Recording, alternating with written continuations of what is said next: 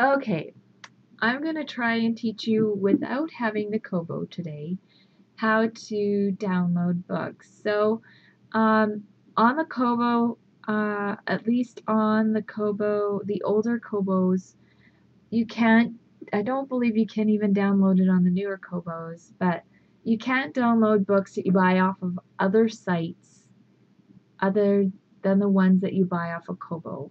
And I hope they change this in the future. So right now you need to use a program called Calibre Library. I mentioned it on the previous video. I said it wrong. I said eCalibre, but it's Calibre. And so how do you do this? Well, let's say uh, you plug in your Kobo into your computer. You have to download this program from the website. I will actually get uh, have a link below this video on how to do that.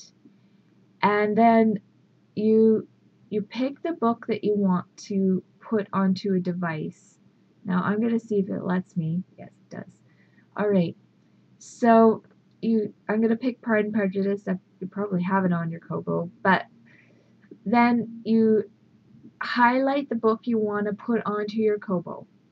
You go down to Add to Device, and of course right now there is no device hooked up to my computer, but you would go down to Send Specific Format to, and then you push either main memory or if you had storage, but I don't believe the Kobo has an extra storage unit, so you would just put it onto the main memory. So that's pretty much it. So um, you would push main memory and then it would then download onto your Kobo. So again, uh, and this is a great program for a lot of things you can read in this program too, but it's great for uh, also if you have a PDF of something and you don't want it and you want it to be in a certain format like the Kobo reader uses an EPUB file which is um, the file name behind your book. So say you had Pride and Prejudice behind this let me see if it shows it actually. No, actually not that. Um, let's just go to the folder it's in. Alright, so this folder has Pride and Prejudice and right here I have an AZW. This is actually a Kindle book um, but this is a file name and same with this one EPUB. This is actually, an EPUB is actually what you can use on your Kobo. So make sure when you're buying books from anywhere, for instance, christianbooks.com or Google or anywhere, make sure that you're buying yourself an EPUB or Kobo formatted book. Alright, so that's all to do with files. Then again I wanted to explain and show you again that to download a book that doesn't come from Kobo store but comes from maybe christianbooks.com or somewhere else because you can be buy EPUBs um, in a lot of places. Uh, you go, you uh, download eCalibre, or no, not eCalibre, Calibre which I will have a link underneath this video for. And maybe you should get Dan or Bev or, or maybe you should get someone to help you if you're unable to, if you don't really understand how to download videos. And so you would go after you've got it downloaded and um, how do you get books on here? Well, if you know where your books are stored, so with christianbooks.com, uh, you have to download them onto your computer.